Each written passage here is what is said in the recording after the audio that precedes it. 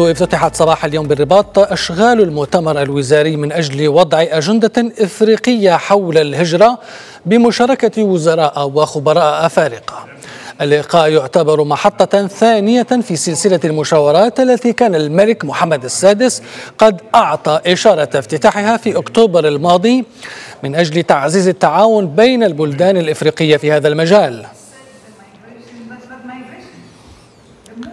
وللمزيد حول هذا الموضوع وافتنا الزميلة كثومة حصية بهذه المراسلة من مقر وزارة الخارجية المغربية.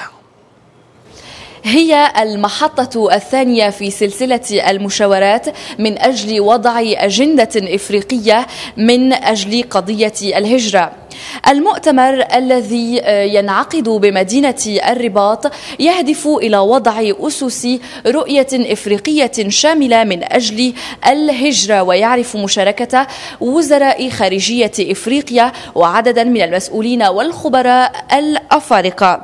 في الجلسة الصباحية أكد المشاركون على أن المهاجرين الأفارقة يهاجرون داخل القارة الإفريقية وليس خارجها كما أو على عكس ما تروج له بعض وسائل الإعلام الأوروبية. وبهذا تعتبر الدول الإفريقية الدول الأولى المستقبلة لأكبر عدد أو لأكبر نسبة من المهاجرين.